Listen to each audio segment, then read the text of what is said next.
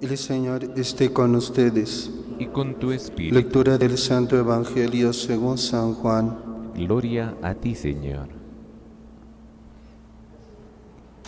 En aquel tiempo Jesús, levantando los ojos al cielo, oró diciendo, Padre Santo, no solo por ellos ruego, sino también por los que crean en mí, por la palabra de ellos, para que todos sean uno, como tú, Padre, en mí y yo en ti, que ellos también lo sean en nosotros, para que el mundo crea que tú me has enviado.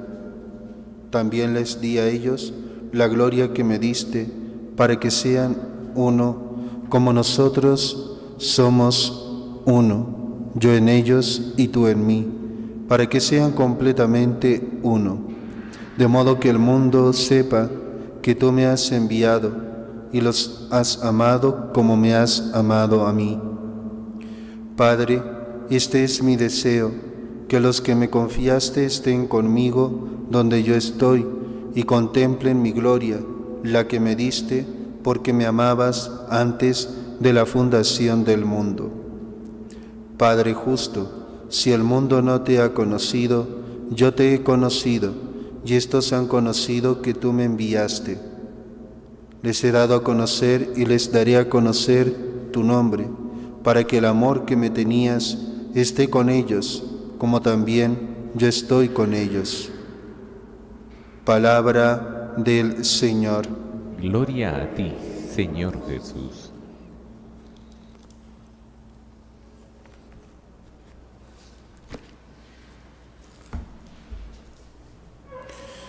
Amados hermanos en nuestro Señor Jesucristo,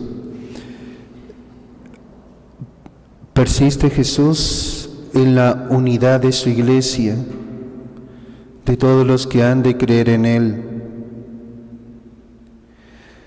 El Padre nos ama como ama a Cristo. Una breve palabra de San Agustín. El amor con que Dios ama es incomprensible y al mismo tiempo inmutable, porque no comenzó a amarnos desde que fuimos con Él reconciliados por la sangre de su Hijo, sino que nos amó antes de la formación del mundo, para que juntamente con su Hijo fuésemos hijos suyos cuando nosotros no éramos absolutamente nada.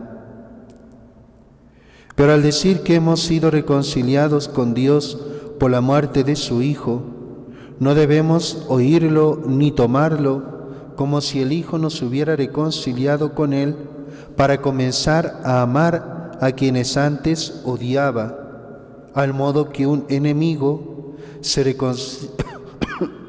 se reconcilia con otro enemigo para hacerse amigos, amándose después los que antes se odiaban, sino que fuimos reconciliados con el que ya nos amaba y cuyos enemigos éramos por el pecado, pero Él ya nos amaba. Qué bonito. No es que nos empezó a amar desde que eh, murió por nosotros en la cruz, ¿no? y nos reconcilió ahí, y nos reconcilió y ahí empezó a amarnos, ¿no? Sino que ya nos amaba antes. Qué bonito. Éramos nosotros, dice San Agustín, eh, los enemigos por el pecado, pero Él no, Él siempre nos ha amado.